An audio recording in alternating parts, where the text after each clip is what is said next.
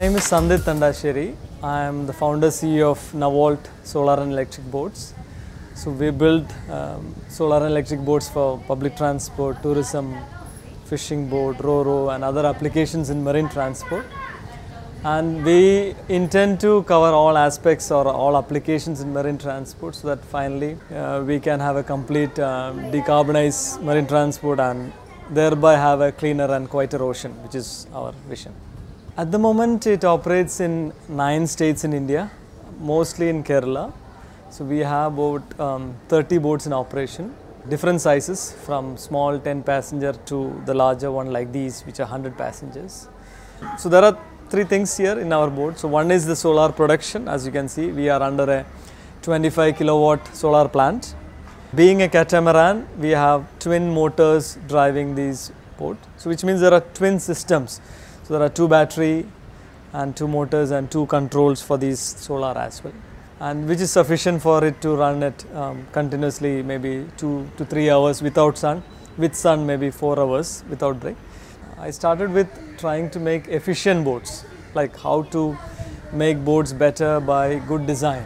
So that was the first step. I realized that design is obviously gives maybe 40 to 50 percent improvement.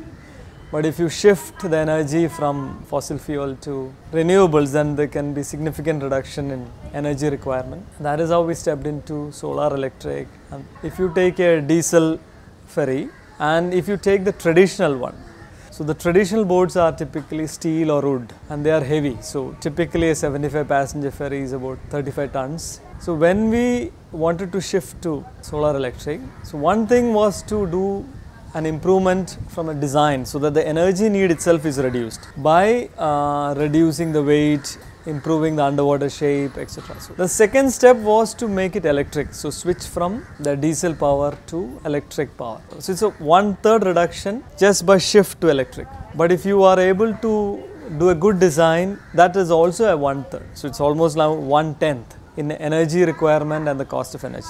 Typically in these solar ferries we do about 70% of the energy is from sun. So which means that energy requirement which cost is about 10 cents now it's about 3 cents.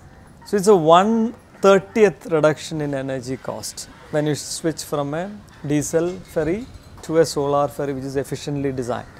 We typically say anything under 5 years if you can break even the capex by the savings in opex it's a good uh, solution.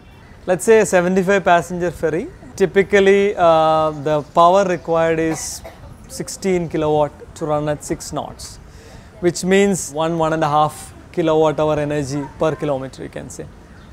So, typically, this is um, because of so much contribution from sun, uh, this is one of the lowest per passenger kilometer. In, it is like about 5 US cents per passenger kilometer.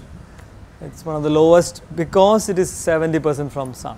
So, public transport and now tourism are the applications where these economics work very well. These all can be solar electric today. In another 5-10 years, most of the boats will be solar electric here for sure.